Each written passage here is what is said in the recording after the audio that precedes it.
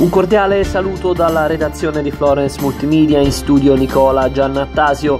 Sulla Fipili in direzione Firenze per lavori è chiuso il tratto tra lo svincolo di Livorno Aurelia e il bivio per la 12.